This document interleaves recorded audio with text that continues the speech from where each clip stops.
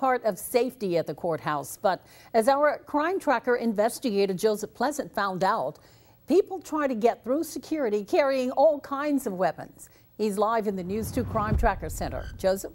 Hey, and that's right. We got an exclusive look at some of the items confiscated at the AA Birch security checkpoint throughout 2016. Some of these items are kind of funny and crazy, but others are downright frightening because if they made it into the building, the results could be deadly.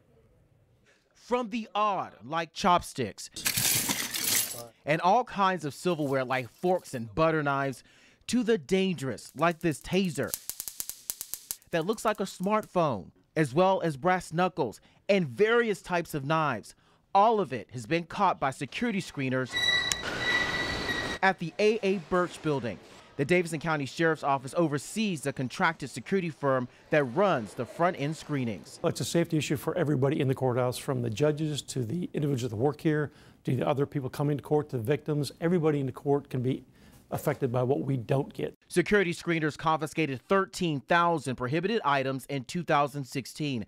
That includes three guns. Most cases, it's, it's somebody that has a weapon on them that they forget they have, but there are cases where people have tried to get them into the building. At the height of the morning rush at the courthouse, screeners will process around 3,000 people. Everyone goes through a metal detector. Bags are both scanned and hand searched. Security doesn't stop there. They also do sweeps of the bushes around the courthouse. In fact, they found 58 grams of marijuana packaged for resale outside the courthouse recently. A lot of people have been here before, so they know what we're looking for and what they have to get rid of. What they'll do is they'll put them in the bushes or around the edges of the building. Security is also looking for other threats, including terrorism. We have an FBI agent on our staff. He's actually a DCSO employee, but he works with the with the FBI. So we get a lot of information uh, when it happens as to what we should be looking for. My philosophy is just because people don't think we are a target doesn't mean we aren't. And just some numbers for you between the AA Birch building, the historic courthouse, and the juvenile courthouse.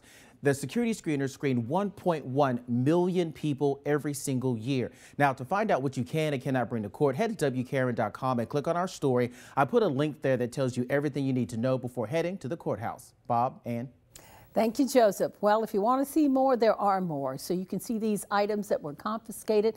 More of them are posted in a slideshow at WKRN.com. Just search Birch Building.